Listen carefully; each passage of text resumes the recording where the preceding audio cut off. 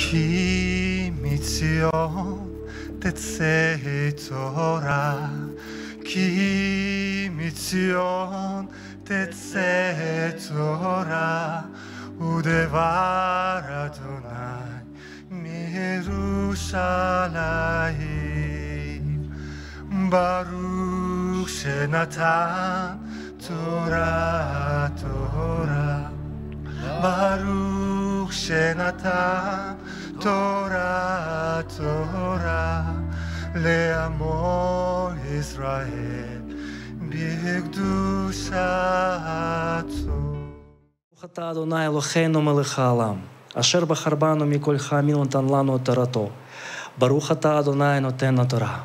Благословен Ты, Господь Бог наш, избравший нас из среды всех народов и даровавший нам Тору. Благословен Бог наш, даровавший Тору. Аминь. Еще раз э, всех приветствую. Сегодня недельная глава Торы называется «Китово», что означает «придешь». И эта книга Дворим, 26 глава, с 1 стиха по 29 главу, 19 стих. И перед тем, как мы начнем э, комментировать, я бы хотел бы э, прочитать э, несколько мест Писаний. Книга Дворим — это книга Второзакония, 26, с 26 главы. Но я буду читать 28 главу. И здесь сказано, «Если ты, когда перейдешь за Иордан, будешь слушать гласа Господа Бога твоего и тщательно исполнять все заповеди Его, которые заповедую тебе сегодня, то Господь Бог твой поставит тебя выше всех народов земли. И придут на тебя все благословения сии и исполнятся на тебе, если будешь слушать гласа Господа Бога твоего. Благословен ты в городе, благословен ты в поле. Благословен плод земли твоей, и плод скота твоего, и плод твоих волов, и плод овец твоих. Благословенны житницы твои и кладовые твои. Благословен ты при входе твоем, и благословен ты при выходе твоем. Поразит пред тобою Господь врагов твоих и восстающих на тебя одним путем. Они выступят против тебя, а семи путями побегут от тебя. Пошлет Господь тебе благословение в житницах твоих и на всяком деле рук твоих благословит тебя в земле, которую Господь, Бог, дает тебе. И девятый стих. «И поставит тебя Господь народом святым своим, как Он клялся тебе, если ты будешь соблюдать заповеди Господа Бога твоего и будешь ходить путями Его». И вот прекрасные места с Писаний – и э, эту главу э, можно разделить на две части, потому что большинство в этой главе здесь говорится о путях благословения, и дальше идет путь проклятия. И в 15, 15 стихе этой же главы говорится то, что я прочитал, но совсем, совсем идет э, по-другому. Поэтому э, эту главу можно разделить на, на две таких части. Это путь благословения и путь проклятия. И эти благословения, они э, охватывают все сферы жизни. Это э, духовную часть, физическую часть, семейную, социальную, хозяйственную, военную и личную. То есть все эти благословения и также э, дальше говорится, да, если мы не будем слушать глаза Господа Бога и не соблюдать, то придут неблагословения. И это охватывает всю часть нашей жизни. И я бы сегодня хотел бы поговорить, э, что такое благословение и что такое проклятие. Мы говорим о благословении, мы просим Господа Бога в молитве о благословении. Но я бы хотел бы поговорить, э, как Библия, именно библейский э, как бы спектр, библейский вид, что такое благословение. И я хотел бы э, прочитать Бытие, 1 глава, 22 стих. Э, первое благословение было произнесено нашим Господом в книге Бытие. И тут написано, «И благословил их Бог, говоря, плодитесь и размножайте, размножайтесь и наполняйте воды в морях, и птицы да размножаются на земле». Здесь говорится о, о птицах, о, э, в рыбах. И здесь мы видим, что это местописание, оно согласуется с идеей процветания, плодотворности и умножения. То есть мы понимаем, что э, слово благословение, оно именно э, согласуется с идеей плодотворности, умножения и процветания. Но это еще не все. То есть э, оно не только связано с процветанием, умножением и плодотворностью. Дальше в Бытие 28 э, глава, здесь уже Господь благословляет человека. Да? И он говорит, «И благословил их Бог и сказал, плодитесь и размножайтесь, и наполняйте землю». То, что было в первой части. Но дальше еще очень важно. И написано, «И обладайте ею, и владычествуйте над рыбами морскими, и над птицами небесными, и над всяким животным, пресмыкающимся по земле». И здесь мы видим, что слово благословение, то есть как бы библейское слово, да, понятие благословения, не только э, умножение, преуспевание и так далее, но здесь именно слово «обладать» и «владычествовать». А здесь уже больше говорится о том, что Бог дает полномочия и власть управлять.